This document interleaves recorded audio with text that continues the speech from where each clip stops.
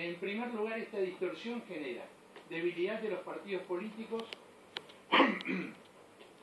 para representar proyectos nacionales y reivindicaciones populares.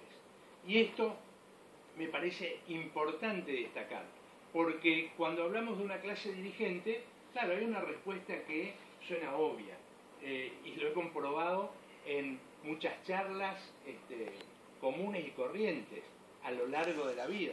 Es decir, ¿hay una clase dirigente? No, no hay.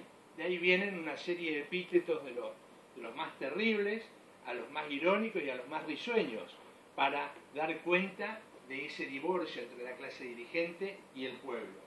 Pero lo que genera, digamos, más preocupación es pensar esa clase dirigente representando proyectos nacionales y reivindicaciones populares. Y en este sentido, me parece que hay una marcada diferencia entre la pretensión alfonsinista de los años 80, las posibilidades de desarrollo de esas ideas en los años 80 y sobre todo el poder, adquirido por el menemismo y legitimado en la sociedad, pero también desarrollado a través de su gobierno en los años 90.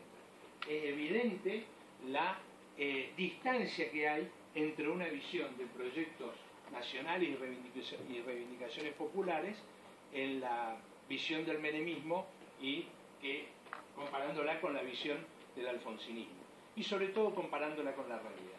En segundo lugar, decimos que hay transformaciones en la política institucionalizada y en mapas ideológicos difusos.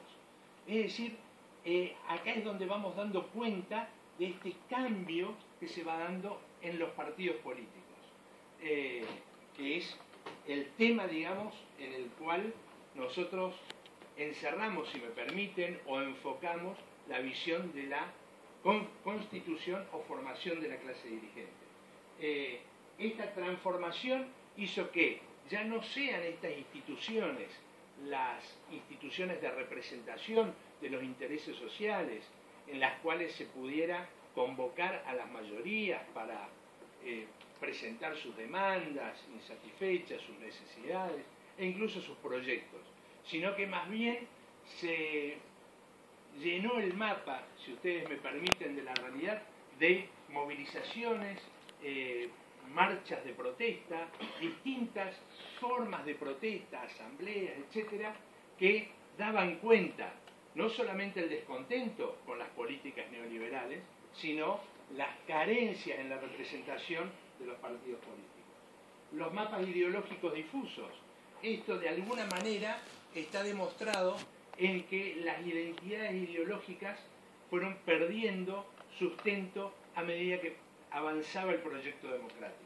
Y en esta lógica que he planteado de dos décadas, eh, que ustedes me permiten, en los años 90 esto fue mucho más evidente. A medida que venían elecciones tras elecciones, podíamos notar que las ideologías, las ideas, incluso valores o el sentido ético que la política tenía para cualquiera de las fuerzas políticas eh, en otros tiempos ya habían perdido importancia. El debate ideológico no era el debate central, sino más bien esto se fue, fue eh, virando, fue cambiando hacia la importancia que tuvieron los candidatos en la vida política. Y obviamente ahí irrumpe, por eso decimos en tercer lugar, la permanente visibilidad de las acciones públicas por la omnipresencia de la televisión principalmente. Los medios de comunicación, eh, es evidente cómo han ido acumulando poder. Eh, hoy también es más que evidente y está la discusión presente todavía de cómo algunos, eh, algunos medios logran no solamente haber configurado la realidad política de otros tiempos, sino que se convierten en la principal contradicción de los gobiernos democráticos. Eh, pero en este caso la televisión acompañó al proceso globalizador cambiando en gran medida el sentido de la política y el escenario de la política. Ya con la televisión eh, puesta como el escenario principal, son más importantes los candidatos y su imagen en las imágenes hay también ideología, y esto vale decirlo, pero ya no es el discurso, ya no es el debate el que está en el centro de la visión de la política, sino que es la imagen.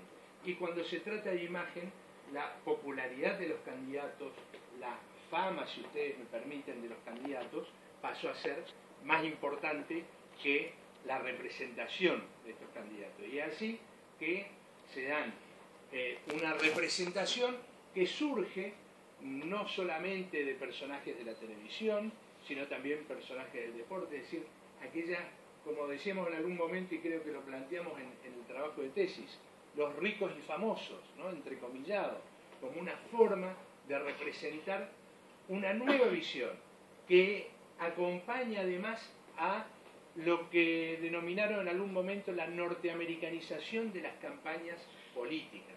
Es decir, centradas en el candidato, con bajo contenido ideológico, buscando siempre el centro y no jugarse a las ideas que puedan estar, digamos, en los arcos de izquierda o derecha de la vida política. Todo lo que vamos planteando, desde mi punto de vista, abona en lo que es la formulación del problema y lo que son las preguntas concretas. ¿Existe una clase dirigente en Argentina? UCR y PJ formaron una clase dirigente